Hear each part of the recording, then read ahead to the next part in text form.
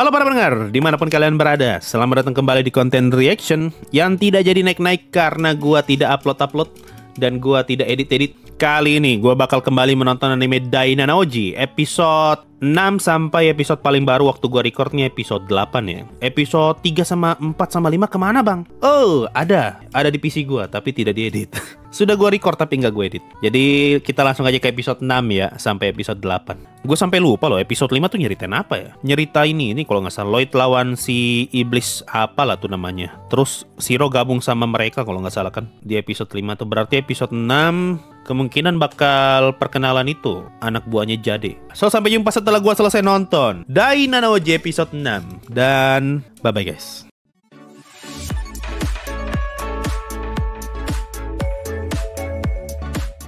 Eh, bukannya dia bakal ketemu sama kakaknya dulu ya yang paham soal hewan-hewan? Oh iya, satu hal yang menarik dari karakter Shiro ya si anjing ini karena mukanya Shiro sama mukanya lo itu persis loh. Terutama kalau lagi masuk mode chibi itu mirip banget.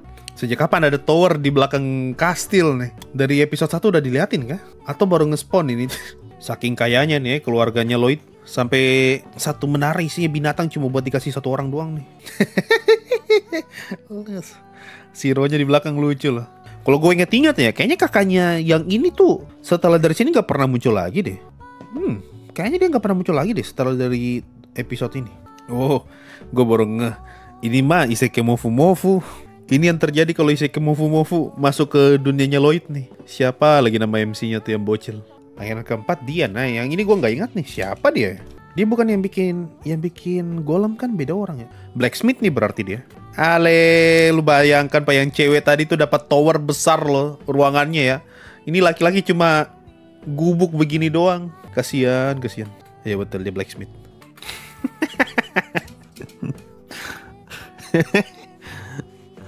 Aduh, mereka kaget sama pedangnya sendiri. Lanjut episode 7. Ale. Lloyd tiba-tiba teleport. Dia sampai bawa baju ganti gunanya apa ya? Oh, karena pengen keluar ya. Oh, berarti tadi itu baju tidur. Ketemu musuh, ketemu musuh baru bukannya takut malah penasaran gitu. Kekuatan mereka apa ya? Ini tuh kasusnya berarti kalau di Hunter x Hunter kayak Kurapika lawan laba-laba lah. Bukannya pengen belas dendam ke laba-laba malah penasaran. Ini 13 laba 13 kalau berapa laba-laba ya? Pokoknya ini setiap anggota laba-laba kekuatannya apa aja ya? Nah, hal ini dideteksi sampai ujung-ujung ketemu juga nih. Oh, ternyata ini gunanya dia bikin peta pakai 3D. Ya buat bikin scene-scene kayak begini nih. Pantasan. Ini Grimu betul-betul udah jadi pelayannya lo itu. Sampai pita aja dipasangin sama dia loh. Weh, ini orang-orang dibikin kayak wah penjahat, bukannya jahat semua nih. Weh, asik nih, asik nih cara berpikirnya Lloyd nih. Kenapa kamu malah menghilangkan penghalangnya? Begitu banyak orang dengan kemampuan spesial di hadapanku. Sayang sekali kalau harus menghindari kekuatan itu. Ini tuh mirip kayak kalau lu main game, lu lawan bos nih, dan lu merasa pasti bisa menang lawan bos ini, dan lu, lu kepikiran, kayaknya kalau gue kalahin ini bos kecepatan, gue nggak bisa lihat skill setnya nih, sayang banget. Ya udahlah, mengalah dulu lah, biar bisa lihat skill set bosnya, jurus-jurus kerennya. Nanti setelah udah lihat semua, baru dibantai. Wih, dia pakai kainnya lawan langsung di jadi ini ah, jad, apa namanya nih? Senjata alas. Tubuh lentur. Oh, gue baru ingat ya kalau kekuatannya orang ini lentur ya. Bukan telepati ya. Babylon kekuatannya lentur doang ya. Bukan yang kayak itu di Jujutsu Kaisen yang kalau ngomong eh bisa kendalin orang pakai suara. Beda orang. Wah, gue kira selama ini Babylon tuh yang make suara loh. Gue sampai lupa loh kalau Babylon tuh ternyata lentur. Pantasan dia nggak terlalu berguna pas battle ya. Wah ada nih kekuatan yang ngomong nih. Kekuatan paling tidak berguna di banyak anime kecuali Yogiri sama Korewa Zombie Desuka. Kalau di anime lain tuh karakter yang cuma modal suara biasanya nggak guna. Crow, oh iya namanya Crow deng. Ya ya ya ya beda orang. Ini kan nanti yang lawan Chimera tuh. Apa kita suka pakai celan? yang dikomentari malah celananya. Aduh. Cuma Ren doang yang waras di sini. Kainnya dipakai buat nutup anunya Lloyd. Selain jadi senjata jadi penutup aurat ya. Aduh, Babylon, Babylon. Nah ini kekuatan paling tidak berguna di anime, kekuatan omongan. Aduh, cuma di Yogiri doang berguna tuh. Di anime lain mah tidak. Aduh lucu lihat ya. Lah, ini bukannya bajunya Jade. Selain itu kenapa dia memakai bajuku? Oh, oh itu bajunya Ren ya? Berarti selama ini yang dipakai bajunya Ren? Aduh Lloyd sih, orang lagi bicara serius baru dia malas tahu. Begini, begini nih kalau pengen bikin karakter malas tahu ya. Jangan kayak cheat gitu dongo. Lucu nih kalau begini. Kalau cheat tuh dongo banget. dia mau cerita masih tetap malas tahu.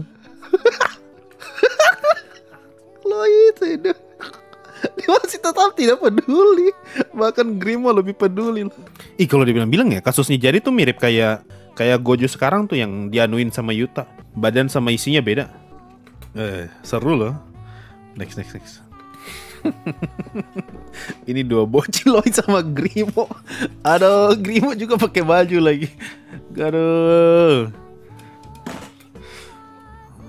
Niat banget pak dibikin scene jadi jadi jahat nih. Wah, Wah, Lloyd datang datang pakai si fallen down langsung.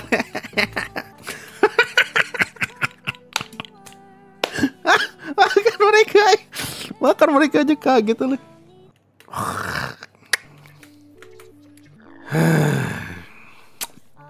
Itu tadi dari Nana Oji episode 8 Tinggal nunggu episode 9 Bagus pak Makin bagus malah.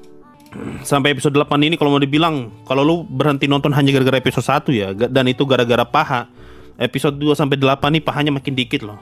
Dan yang si yang tersisa tuh cuma bagusnya doang. Walaupun ada beberapa sinechi, tapi bagus Pak itu sin sin jadi-jadi jahat baru tiba-tiba dari langit Lloyd buka sihir itu bagus loh. Ini baru episode 8 Pak. Belum bertarung loh ini. Ini kalau bertarung nanti kayak gimana?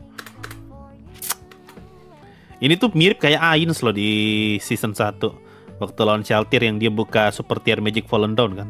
Sama juga, wah. Tetap gak tahan muka fanboynya. Kelihatan fanboy kah? Gua sama sekali gak merasa dia kayak fanboy gitu. Cuma di beberapa scene aja. Tapi mayoritas enggak Kalau mau dibilang ya ini dibandingkan episode 3, 4, 5 Ya 3, 4, dan 5 waktu lawan yang Aduh siapa tuh yang ngeselin banget tuh.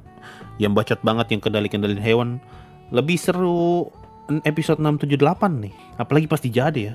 Storynya jadi kasihan. Kalau dibilang kasihan gue sih setuju ya. Apalagi tadi dibalut sama musik yang lumayan sedih juga tuh bagus banget. Tapi masih masih juga diselipin sama komedi Lloyd yang cuma pelangga-pelongo doang. Episode 8 no opening bang. No opening sama no ending loh. Kelihatan niat kan. Opening sama ending dihilangin ya buat tampilin itu scene yang emang penting dan serius. Tidak kayak Shadow Garden season 2 episode 8, opening sama ending dihilangin buat episode fan service. Makin bagus skornya juga naik. Ah, really? Mari kita cek. Ratingnya sekarang 7,04 naik loh. Dari 6,9 loh nih, naik ke 7 nih hebat banget, Pak. Semakin banyak orang yang mengapresiasi animenya berarti. Dari yang awalnya kena head habis-habisan gara-gara MC fanboy, perlahan-lahan mulai diapresiasi lah. Karena emang animenya bagus sesuai perkiraan menjelang akhir dapat 7 ya. Berarti rating 6,9 tuh nggak sengaja. Emang waktu itu dapat 6,9 aja. Gue jadi penasaran ini kayaknya tipe anime yang bakal ratingnya naik kalau sudah tamat. Bakal mungkin 7,1 atau 7,2 gitu. Karena makin ke sini makin tinggi ratingnya kan.